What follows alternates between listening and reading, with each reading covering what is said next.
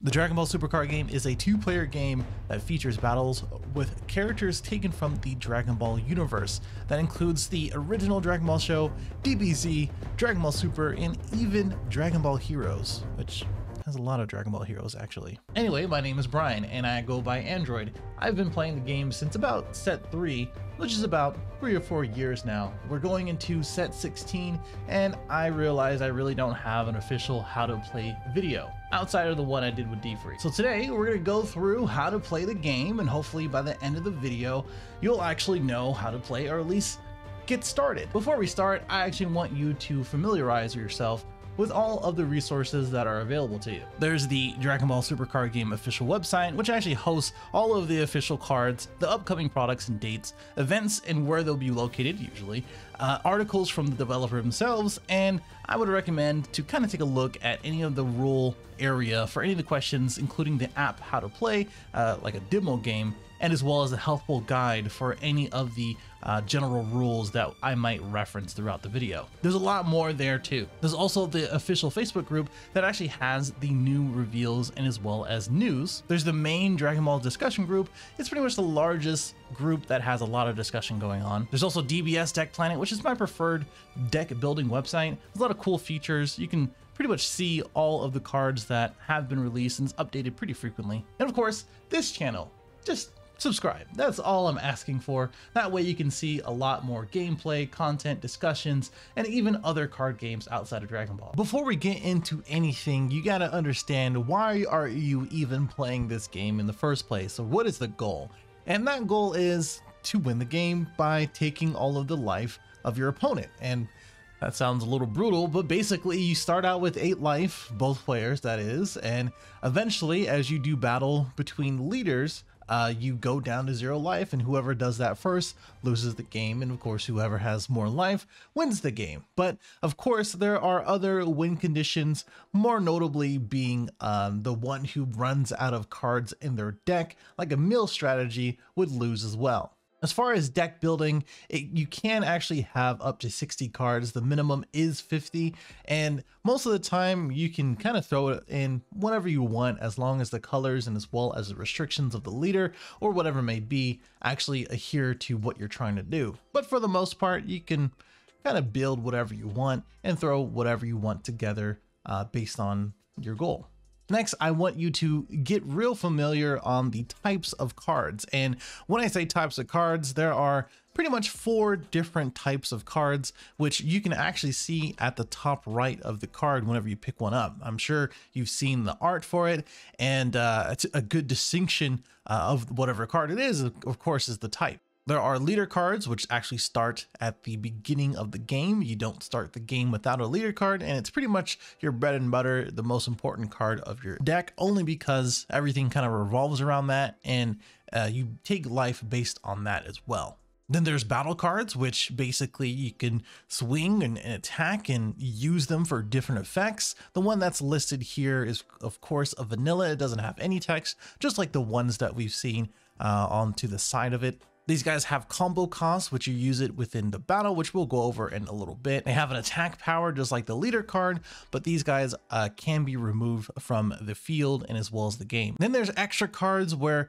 you pay the cost and then you get the effect. These usually don't end up on the field or anywhere else unless otherwise stated. You just kind of use them from your hand and then you get the effect after you pay the cost. And then lastly, which is a pretty much a new addition to the game pretty recently, these are unison cards. They're similar to Planeswalkers in Magic the Gathering where you pay a cost, you get amount of markers, and then you minus or plus those markers to get the effects that you actually do want to use. Okay, let's talk about areas. And this is a pretty normal card play mat and uh, it doesn't have the actual areas, but with the power of editing, I will go ahead and put them in. The first area that you want to be familiar with is basically your leader area, and your leader area will be located at the top left. Right next to it is going to be your unison area. To the right of that is going to be your battle area where all of your battle cards will be at. In the middle is going to be where you do your combo step and put your combo cards. And then this is where you put your energy at the bottom of the play area. You place your life on the left side, your deck on the right middle, and then your drop area right below it. So to get ready for pretty much any game, you first have to put out your leader. So it has to be out in the leader front. Most of the time you can take the look at the leader power and being at 10K, uh, you can flip it back over at to 15K and usually has pretty distinctive art of which one is the front and which is the back. This of course is the front. You place the deck down into the deck area and then you roll uh, to find out who goes first. Of course, you can use two dice. I'm just doing one just for reference. Of course, I went ahead and rolled a five to a one. Let's say the opponent went ahead and did a one. I went ahead and did a five. I go first. I would recommend to go ahead and shuffle your deck.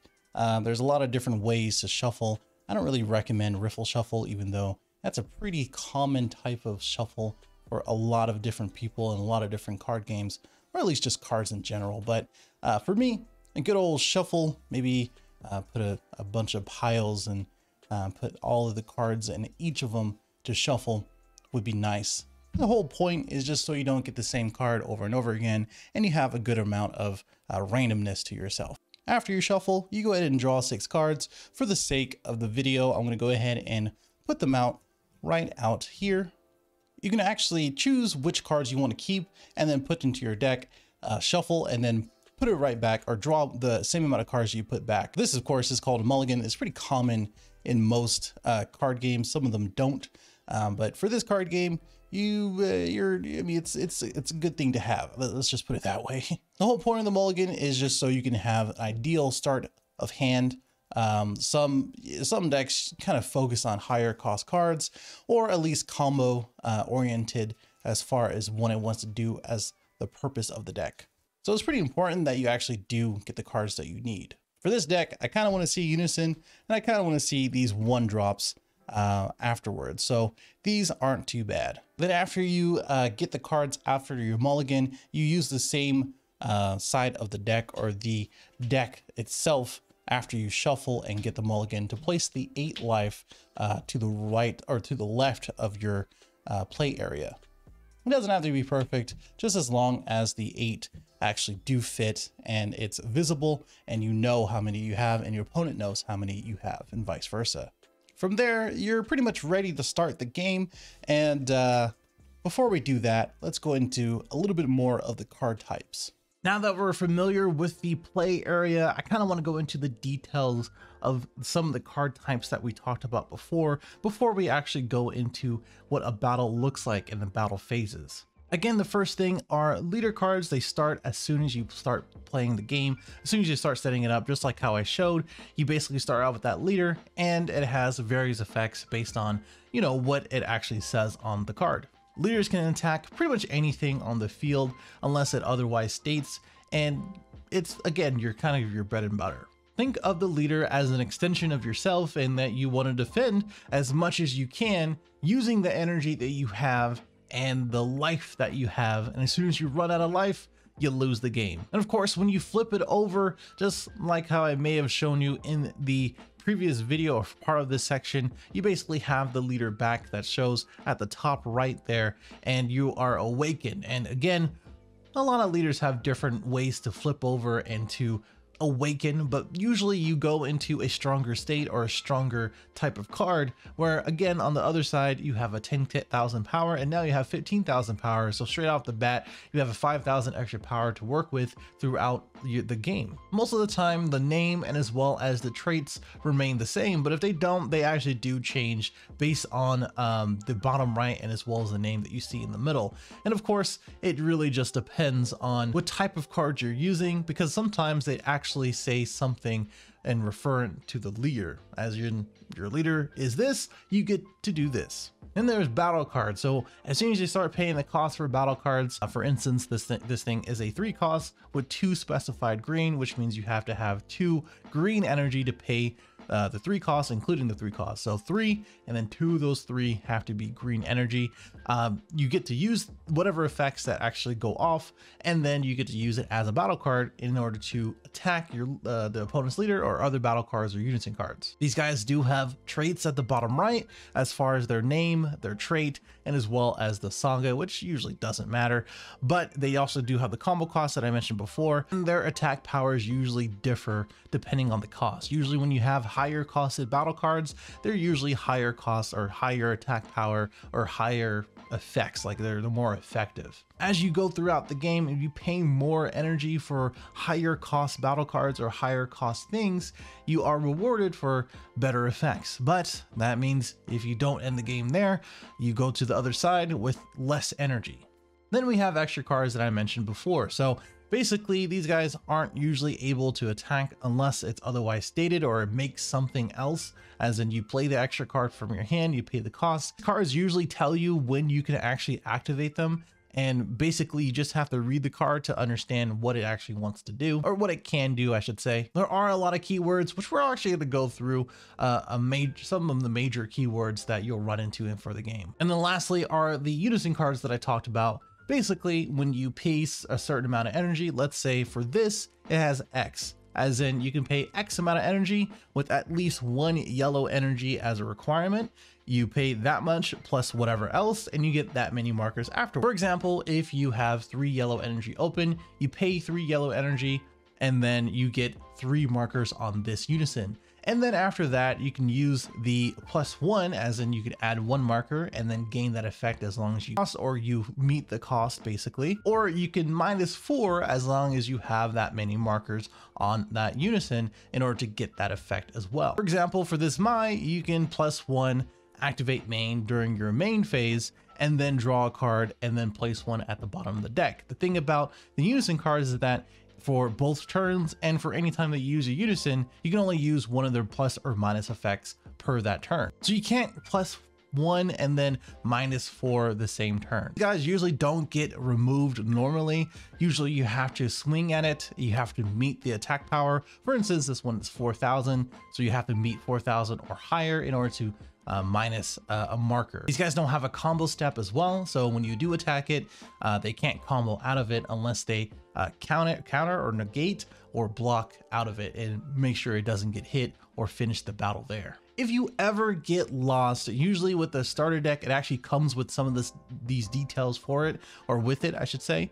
But go ahead and reference all of the information that I've, I've referenced before as far as the details on traits and where things located, card types, etc. because this will actually show you what that looks like. This can be found on the official Dragon Ball website under rule and then uh, scroll all the way down to the bottom where you can find all that information. Now, finally, let's go into a battle and show you some examples for that. So now you know a little bit more about the card types. Um, let's try to mimic a little bit of the start of a game first. So again, we went ahead and mulliganed, uh, we drew the six, put back the what we didn't want to see anymore, shuffled, and then drew uh, five more because we kept one. After that, we went ahead and put the eight life afterwards, and now we have the six cards to start the game. At the start of the turn, you do go ahead and draw, but because I'm going first, you don't actually get to draw and you don't get to attack. This is because you're up on one energy, which is basically an extra turn or an extra action versus your opponent. And sometimes that's advantageous and other times it just really depends on your deck. So for this deck, uh, basically what I'm looking at is a couple cards that are pretty much duplicate. And what I want to do is charge a card that I either don't want to see, I'm going to see again, uh, I don't need right now, or I just don't, I, I just know that I uh, don't need in this matchup or this match. And you'll understand that as you go ahead and use your deck and gain a little bit more experience. I'm going to go ahead and charge this card because this is a, an extra card that is also a negate or counter, which stops an attack, but I'm not going to need that because I'm already at 8 life, and I highly doubt I'll need that early on to the game. Sometimes you'll have to keep it if you know that the opponent it might be aggressive, or you know you have to stop attacks in the future. Now that I've charged, that actually completes the first part of the turn. So you draw, you charge, and then you get to go into your main phase in which you play out cards, you use skills, and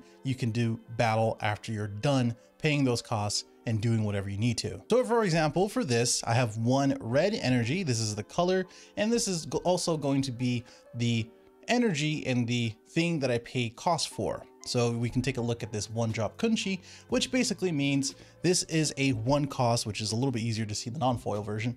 So one cost and red dot there is a specified cost. So in turn, I can go ahead and rest or suspend, I should say, in order to pay a certain cost in order to pay for that card. So as long as it has the cost and you're meeting the cost and you pay that cost, you now get the effect. This Kunshi says, the auto, when this card is played, you get to draw one card. So I'm gonna go ahead and do that. Now I have another one cost Jiren in my hand, which can now combo into these other cards where I can evolve, your EX evolve, on top of a red Universe 11 Jiren, which this is. So taking a closer look at this leader, basically, again, you're in your main phase whenever you're paying for uh, costs or doing skills and, and things like that. You're only entering the battle phase or doing battle when you announce an attack which we'll go into it uh, in a little bit. But just like I mentioned before, this little activate main here says once per turn, I can add a card uh, to my hand and then look at the top seven of my deck and then play out a red universe 11 card with energy cost of one in rest mode and then shuffle your deck. Notice that this doesn't have a cost unless it says otherwise. So basically the cost is to add one card from my hand or to my life to my hand, and then I get to do the effect. So if you do want to do that, you just announce that you're going to be doing the activate main and then pay the cost and then do the effect. So let's take a step back for a second. Again, we went ahead and went first, we uh, went ahead and so first let's take a step back again. So we started first, we drew our six cards, mulligan, charged for our charge phase, went into our main phase to do our effects, paid one to get the auto in order to play the card and draw one card and paid that cost. This cost on the leader is an activate main, which means I'm going to pay the cost that says so, which is taking a card out of my life and add it to my hand, and then look at the top seven. Looking at the top seven, it just depends if you do see which by the way my luck is not is not looking too great by the way. Just a lot of copies. This is a terrible terrible thing for a demonstration. I apologize. But i went ahead and looked at the top seven uh, and i do have a red universe 11 this is a red card. You can tell um, by the bottom right if i haven't mentioned that before. It has a set number and as well as the color of what the card is. And the trait at the bottom right says universe 11 so I get to play it in rest mode. So the remaining six cards that I saw are going back into my deck and I have to shuffle because that's part of the effect. So now that I paid the cost, which is taking a life and using the activate main in my main phase and uh, looking at the top seven and playing out a one drop uh, universe 11 card. Since I played it, I get to use the effect from it. And now this card says when this card is played, you look at the top five of your deck and add one red Jiren card or one red Unison card with a specified cost of one among them, add it to your hand, and then shuffle your deck. So note that it does say up to, so if I don't see any in that top five, that's okay. I just get to shuffle my deck. So let's go ahead and do that. Since I went ahead and used my leader skill, I pay, uh, paid the cost in taking a life and then found this in my top seven. I'm gonna go ahead and look at the top five and see if I have a target uh, for that. So what I'm looking for is a red Jiren, which this guy is. He is a red Jiren or a uh, red Unison card with a specified cost of one. And since this is a uh, kind of an early card and it's pretty vital to the deck, I'm gonna go ahead and add that and shuffle my deck afterwards. So now I have completed basically uh, a few things. So I charged, had the red energy, paid it for that one and that one specified for this Kunshi and Drew one. And then I went ahead and used the activate main because it is my main phase. Um, use the top seven to play this guy and then use his effect to look at the top five and then got this guy. Um, usually as you run out of energy, just like how in the Dragon Ball show, they start fighting and they start doing stuff. And soon, soon as they start running out of energy, they stop doing things because, well, you run out of energy. cool thing about this deck is that some of the stuff is actually free or it doesn't cost energy I'll go ahead and compare two of the cards that are in my hand for an example. So this one says EX Evolve, your leader card is a red Universe 11 card, which is my Jiren. Um, I get to have that as a cost and evolve or EX evolve on top of a red Jiren card with energy cost of one. If I do that, I get the auto effect when this card is played, draw one, and then choose up to one of your opponent's battle cards, it gets negative 10,000 power for the turn. In this case, because we're going first, they're not going to have anything on their field, but if they did, uh, that would be cool because if something, let's say um, this Jiren uh, on their field, let's say they're playing the same deck, this is 4,000. If you do negative 10,000 to that card, it places into the drop because it is more than what the attack power is. So what I can do is EX Evolve by placing it on top of the card and then now I get the effect because I met the cost. The cost was having a red Universe 11 leader and then having a one drop uh, Jiren or one cost Jiren uh, on the field. Now most cards or most effects will refer to things um, in active tense. So again, you're gonna have to have something on the field in order to evolve or place it on top. I'm gonna mention it later or before or throughout the video. There are a lot of keywords and a lot of things to kind of keep up with. If you have any questions or any doubts about things, reference to the official Dragon Ball card website so that way you can look up any of the keywords. So again, I'm out of energy. I don't really have anything else to play. Uh, I'm looking at my hand. Everything is costing a lot when I don't have anything to use it for. So I get to pass my turn and it goes into the end phase. Now from there, the opponent gets to do the same thing. They get to charge, they get to play cards, and also attack after the first turn is up. Now, before we go any further, let's talk about the battle phases and as well as other effects. So what we have here is basically an example of a pretty typical game. We have the red Jiren that we had all of the steps that we went through already versus the God Goku, which is notably more known as Soul Striker, which is pretty typical in the game itself nowadays and uh, the show itself actually. The Goku deck basically uh, went ahead and did his mulligan, placed his life, and uh, is ready to start the second turn since the Jiren player went ahead and ended his turn. So what that means is now the Soul Striker player can draw one card and add it to his hand. And just like we did with Jiren, we're going to go ahead and charge a card. One thing I did not mention is that um, some of these cards are a singular color, which again, you can see at the bottom right of the card, but some of the cards are also multicolored, which this one is actually blue-yellow. Again, you can see that at the bottom right of the card where the set number and the number of the uh, card is, and it'll have the uh, two or singular color. Also has energy exhaust, which means it comes into rest mode or inactive mode. Generally, when you actually have any card that you want to place into your energy area, you have to put it upside down and place it in active mode. But with this card, because it is a, a multicolored card and has that energy exhaust, you have to place it in rest mode. That's another example of a keyword that you'll have to get familiar with as soon as you get to that part of deck building. This is in rest mode, and now we're going into the main phase. We can play cards and do things with effects. Basically, uh, all the cards are in my hand costs a certain amount or requires a cost. For instance, this Unison has three specific blue energy to pay. This has two, this has one, this has four, etc. Knowing that, the only thing to really do is to attack the opponent. You're free to attack basically anything that is in rest mode outside of their energy, of course. That includes their battle cards, uh, unison cards, which can be inactive, or their leader card, which can be inactive or in rest mode. Basically, right side up or sideways. So to attack, you basically take a card and you put it to sideways and you declare attack to what you want to attack. So for, for instance, if you want to remove something like their battle card in battle, as in you're attacking with 10,000 to their 15,000, you can do that. It's just that you have to go through the phases like the combo step, which we'll go into in a second, in order to remove it.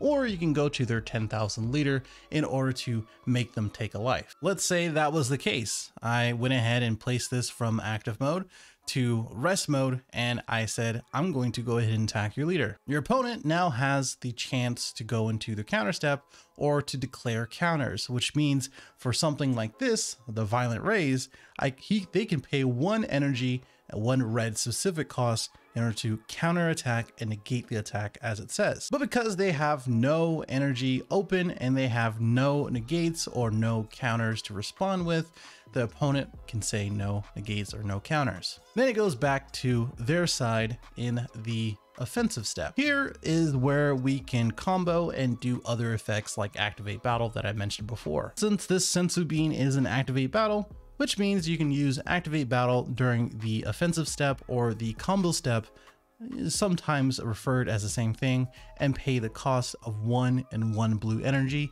and get the effect. But because we have arrested energy, we actually can't do that. Now that they said no negates or no counters, that means you can actually do the auto effect when this attacks. This says you get to choose one when this attacks. You can either draw one card or you can switch up to one of your mono blue energies and switch it to active mode. Unfortunately, we have a multicolored energy, as in two colors. Mo monocolored means one, as in the card itself is only blue. So I recommend to go ahead and just draw the card and declare that you're choosing to draw a card. You can only choose one, so let's go ahead and do that. So now we're gonna go ahead and draw this nice little Tapion unison. Then it goes back to the opponent's side to defend themselves. Then after you do that and resolve your auto, and after that effect resolves and you draw your card, you actually get to go into what's called the offensive step and the combo phase. Remember these battle cards have these um, numbers on the side to them. That means you get to use those cards in a combo step. Combo power is the indication here where it is a 5000 or whatever it may be. And then the circle in the number uh, right to the left is the cost of that combo. So what that means is that when you're attacking, you go into the combo step, you can use these cards to combo and boost up the power of your attack. So now we're looking at the defensive step for the opponent, which means they can defend themselves to not take damage for that attack. So they're looking at 15,000 to their 10,000, which means they would have to get over that because if it's under, as in 10,000, or at, which is 15,000, they get to 15,000 instead. They have to take that damage. So for instance, if you wanted to combo out and get out of that attack, let's say you don't want to take um, a life or a damage here, that means you have to use from your hand uh, and things that actually have a full cost and combo power and use it in your combo area. So for instance, for this, this is 15,000 to their 10,000. You just add up to this 0, 5,000, 0, 5,000, which adds up to 20,000. And now you're done with that battle because you comboed out. When you do combo with things and the battle is over, they go to your drop area, which is indicated right below your deck. Now that the Goku swung and there there's pretty much nothing to do because everything is uh, costly, you get to pass the turn. So that's basically how a couple turns in a battle would go. As soon as the uh, turn is done for one opponent, it goes to the other. And I'm gonna go ahead and switch everything to active mode um, because that is what happens when you pass over the turn. The player that it gets passed to uh, starts out the turn by drawing just like last time, and then afterwards they have to choose to charge a card. For this, I'm to go ahead and charge this other extra card. Now I'm to go through a couple turns without any explanation, so that way you can kind of understand how the game flow works. I went ahead and charged, and then now I'm to use the active main to take a life and add it to my hand and choose a red universe 11 uh, from the top seven to play into rest mode. I'm gonna go ahead and shuffle the deck right after.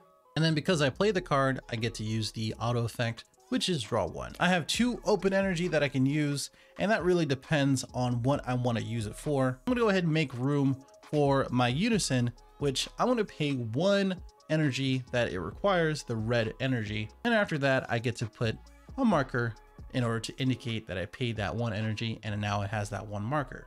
Remember that Unisons can only use one of their effects, either the plus or minus, pretty much once per turn. And I'm gonna go ahead and use the plus one in order to get to two markers.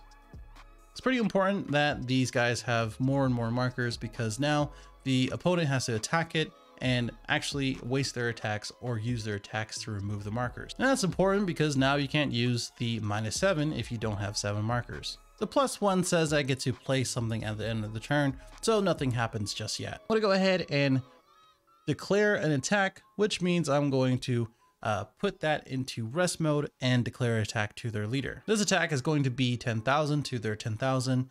They say no counters because there is nothing that they can do with this rested energy, and it goes to my combo step. To make sure that they actually do end up taking the damage, I want to go ahead and combo with this 0 5000, which will make this into a 15,000 attack. Now it goes back into their combo step and because they're 10,000, they have to get to 20, which means they have to waste a couple cards in their hand if they have two zero fives, just like we did before. Because this is a normal attack and I get to take a life, which is adding to their hand, I'm gonna go ahead and do that. This goes into drop from the combo area. And now I get to do any other effects and returns to my main phase. Now I'm gonna go ahead and put this into rest mode, and then declare an attack to their leader. This is going to be the same thing, being a 15,000 to their 10,000. So now it goes into their counter step. They say no counters again. This goes into their combo step. I'm gonna go ahead and say no combos because this is already a, pretty big attack to their only 10,000. This is the same situation, so I'm gonna go ahead and take a life for that. As the Jiren player, I'm taking a look at my attacks. I did some damage and I only have one open energy. So I'm gonna go ahead and end my turn. Because I ended my turn and declared it, this effect goes off and I get to play something in rest mode. I'm gonna choose this one Jiren here and then look at the top five. So this is the same Jiren as before. So I'm gonna go ahead and just take this red Jiren. Actually, you know what? I'll take this one since it looks pretty. Now that I've ended my turn, I've done my effects and everything is in line It goes back to the Goku and everything goes back into active and he gets to draw a card. Then I'm gonna go ahead and charge, which I'm just gonna go ahead and charge maybe this uh, Tapion and put it, put it upside down to indicate that it is an energy. Now that I have the blue and yellow, I get to pay for blue costs and as well as yellow costs. I can actually pay for this guy this one energy and one yellow specified, which means this one energy has to be yellow, which I do have right here, and I get to use this effect, which is draw one. Now that I did my effects and I did what I needed to do, I'm gonna go ahead and put this to rest mode and then declare an attack on their battle card because I want to remove it. This is a pretty good idea because this is 10,000 to their 4,000. Either one of these would be a good idea to uh, attack. So again, if they have a negate or declare a, a counter, they can do this here, but the Jiren doesn't have it. So it's gonna be no counters. So now I get to combo, which this is 10,000 already. They have to combo a couple to get over that 10,000 threshold. So going back to their combo step, it's just going to die if they don't combo out. When it loses to battle, it means it gets KO'd and it gets placed into the drop area. But that's pretty much it. I'm going to stop it there just because you can kind of go back and forth and start reading the effects and start doing things as you would because pretty much every single battle or at least the way that the game flows is pretty much the same as you go on. If you have any doubts, please reference the game guide and as well as the rule book found on the official website. All right, the last thing I want to teach you is, uh, again, we went through a couple of battles or at least uh, an example of what a battle should look like and as well as how to set up and go through your charge phase and things like that. Uh, this is pretty much a section where you can understand some of the major keywords and some of the examples that actually carry out uh, due to those keywords. So autos are usually in blue. You can see it on this Goku card. And these skills usually depend on the text of the card and it activates whenever it actually has that timing. So for instance, this one says auto, you when you play this card from your hand, you draw one card. So let's say you have a black energy in your energy area, you pay that one black energy because it has that one and that one black energy as a requirement, and then you get to draw one card afterward. Autos usually happen after a counter step. Uh, so if there's a counterplay or something beforehand that is a counter uh, in a response to this, those will happen first, and then this will happen afterward. Another example of how this kind of works is that Um, for this auto, it says during your opponent's turn, or if it's your opponent's turn, at the end of the battle where this is used as a combo. So let's say you just finished the battle that you just did and you defended with this one uh, 10,000 power, one cost. So you pay one energy, 10,000 power, and then at the end, end of it, this auto goes off. You get to play one skilless or up to one skilless with cost two or less from your deck or drop area, and then shuffle your deck if you, if you look through it, and then you can't activate any of the auto effects on copies of those cards. So you can't just keep comboing them and getting these two costs basically. So the cool thing about this card is basically uh, you use this as a combo and then when the battle is finished, the auto goes off right after and then you get the effect. So here's another interesting one. This guy is a blocker, so uh, you get to play him or if you have him out on the field. Uh, and then when it gets removed from battle, so basically if your opponent has five or more cards in their hand, let's say I'm the one with a Zarbon on the field, this guy gets removed or it gets KO'd from battle, and they have five or more cards in their hand, you then get the effect. If they had five or, or four or less in their hand, you don't get the effect. But when you do meet the effect, or meet the conditions, I should say, uh, you get to, or your opponent chooses one card out of their hand and then place into the drop area. As long as you meet the cost, which is just having this guy on the field and removed or KO'd from battle, um, and they, you, and then they have five or more cards in their hand, they get to drop one card from their hand. And of course, autos aren't exclusive to battle cards and extra cards. Uh, they can apply to leaders too. So with this, and really most leaders, when you attack with this card, you get to draw one card. And then you may, as in you can or, or choose not to basically, choose one of your non-token, non-black battle cards and place into your drop area. So let's say we had um, that Zarbon. Uh, if you do so, you get to choose, or your opponent chooses one card from your hand and then place into the drop area. The way that this works with the Zarbon itself, you can actually choose the Zarbon and then choose this, and then basically this will go off first and then the Zarbon will go off afterwards. Because remember, this just says, the Zarbon that is, if it's removed by a skill, which is the skill of your leader effect, that Broly effect that we just looked at, uh, you meet and you meet the requirements, they get to choose one card. So things like that will kind of create combos uh, within the deck building that you may have. All right, let's look at keyword skills, which are usually in red. And of course, I will link in the description below as far as where to find all of the keywords and as well as the resources that we talked about before, but you can find all the keywords there.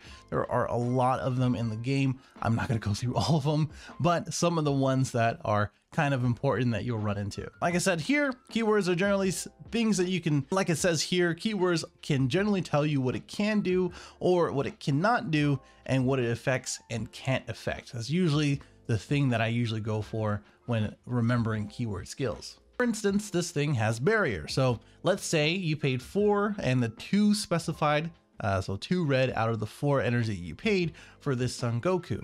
And when it's on the field, this actually says that since it has this keyword barrier, it can't be chosen by the skills of your opponent's card. So let's say that Broly that we looked at before, this one says activate main, which is during your main phase, that person's main phase, uh, you get to choose one card from your hand and place into a drop area, and then choose up to one of your opponent's battle cards to KO it. So you're pitching one card and you're choosing one card on your opponent's field. That card ends up being this Goku. They actually can't choose it because it has barrier. It's not affected at all a relatively strong effect for a lot of different cards. Evolve is an interesting one as well. Uh, this is kind of thrown in as long as you have a Son Goku GT, as in the traits that I've said before at the bottom right, you to evolve this card by paying two red and one colorless energy on top of that other card. So this other card would be the Son Goku GT, and then you get the effects that go with it, which is just the auto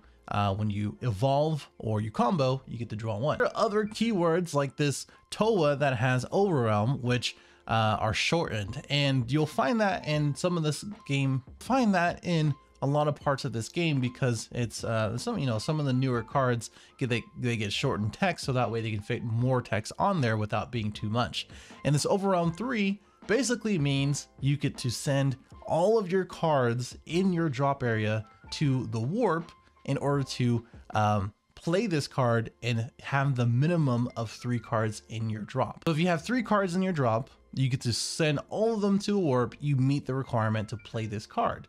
That is the cost that you can do, or you can pay three energy for it instead. If you have five cards into your drop area and you meet that three minimum requirement, you get to send all of that into your warp and then get to play this card. Of course, the autos go off for this card. Basically, what it says is that when you play for Over Realm um, and your leader card is green and yellow, they get to uh, pitch a card and then you gain 5k power for your leader. There are other cards, or at least other uh, cards that actually have keywords on them that have requirements in order to uh, do the effect. So, for instance, this Roshi it has an auto of burst 2, so the auto says when this card attacks, draw 1. But first, you have to meet the requirement of bursting 2. So you must place the top two cards in your deck into your drop area to activate this skill. So in order to draw that one card, you actually have to uh, make sure that you have those two cards from the top of your deck into your drop area. Good thing to remind uh, that you can use Awakening as a keyword, because it is a keyword, um, during your main phase and as well as your activate battle phase, like I mentioned before. This Frieza that actually has blocker and basically what it says is just like how it says here. We have this Frieza which has blocker and basically what it does is what it says here. When one of your other cards is attacked, not this card, you may switch this card to rest mode and then you change the target of that attack to this card don't want your leader to take damage and you're there's something like a 25,000 attack coming your way to your leader. And you know you can't combo out of it so you have this guy on the field. You can switch it to rest mode and then it will go into this card instead that battle battle will finish with this card instead of with your leader. So remember that you actually have to have this on the field in order for the blocker effect to take effect because you can't switch something that's in active mode to rest mode if it's in your hand, right? And again, a good reminder with the auto is that when it's KO'd, again, from that battle, you get to choose up to one Frieza card, as in the name here, uh, with the energy cost of three in your hand and then play it. Last one are the activate main and activate battle effects, or just activate in general that I've been mentioning throughout the entire video. And is that, and basically what it means is that activate a skill. Uh, you can activate a skill during the appropriate timing, which means uh, activate. Uh, lastly, activate is basically the stuff that I've been talking about throughout the video. And what that means is that you can activate a skill during the appropriate timing. So activate main would be during your main phase. Activate battle is during a battle, which is generally your combo step. And then you can't carry out the skill after you pay the cost. And with this card in particular is that the activate main is that you pay the two energy during your main phase in order to uh, gain the effect. For this guy, if you have three or more energy, you pay the two costs and it's your main phase and you choose one of your Vegeta or yellow Vegeta cards and yellow Trunks cards uh, in your battle area. You get to play this from your hand and then place right underneath the card uh, afterward. Activate Battle says is that you can only do it one time throughout the entire. Activate Battle has a limit one, which basically means if you have multiple copies of this guy on the field, you can only do it once per that turn. You get to place two cards underneath the card in the drop area or the owner's drop area, and then draw one card and then choose up to two of your opponent's battle cards in rest mode and then KO them. And now this guy has triple strike for the battle, which means you're going at them with a critical and triple strike with 35,000 power. It's a pretty good finisher and really good overall and why it's important to understand uh, these two types of effects kind of combo each other. All right, so that's pretty much all I can really teach you, honestly. I, uh, I, I mean, this video is really just to kind of get you going and as well as to start you out as far as to play the Dragon Ball Super card game. You're gonna have a lot of questions and honestly, you're going to answer them by playing the game over and over again, and as well as asking the community and as well as those who may be around you that actually know the game. If you have any doubts about things, I would again reference the official website, look at the Q&A and as well as the rulebook and maybe a few other things that are around there. Go ahead and comment below if you have any questions. I'm going to pay attention pretty closely to this video in particular and make sure I can answer any of the questions that you may have. Go ahead and check out any of the gameplay videos to get a little bit more of a feel of what a proper game can be some of the competitive ones that I've done for the uh, NA Nationals and as well as the World events are pretty good barometers of like high level play. But again, there are plenty of other casual and just tabletop type of games that you can kind of uh, get a little more experience and a little bit more visual learning going on there too. Hope you enjoyed, and I will see you in the next one.